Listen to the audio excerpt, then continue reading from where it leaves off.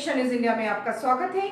मैं प्रिया, आपके साथ। एक्ट्रेस सबा आज़ाद इन दिनों मिनी वेब सीरीज़ के प्रमोशन में बिज़ी है। इस दौरान उन्होंने एक इंटरव्यू में अपनी पर्सनल लाइफ के बारे में बात की है। सबा ने कहा है कि अपनी पर्सनल लाइफ के चलते सोशल मीडिया पर काफ़ी नफरत का सामना करना पड़ा है। दरअसल सबा का नाम पिछले कुछ समय से उनके काम से ज़्यादा ऋतिक रोशन को डेट करने के चलते सुर्खियों में रहा है। ऋतिक को डेट करने के बाद मिले मीडिया अटेंशन पर। सबा बोली, मैं बेहद प्राइवेट पर्सन हूँ। मैं बहुत कम बाहर निकलना पसंद करती हूँ और मुझे घर में वक्त बिताना पसंद है। इसलिए शुरुआत में जब पेपराजी से पाला पड़ा तो ये काफ़ी डरावना था। मैं झूठ नहीं बोलूँगी।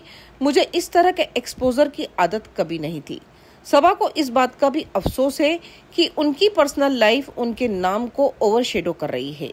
सबा ने ऋतिक के साथ रिलेशनशिप ऑफिशियल करने के बाद मिले हेट कमेंट्स पर भी बात की। उन्होंने कहा, मैं कोई पत्थर की नहीं बनी हूँ। मुझे भी फ़र्क पड़ता है और बहुत ही बुरा फील होता है।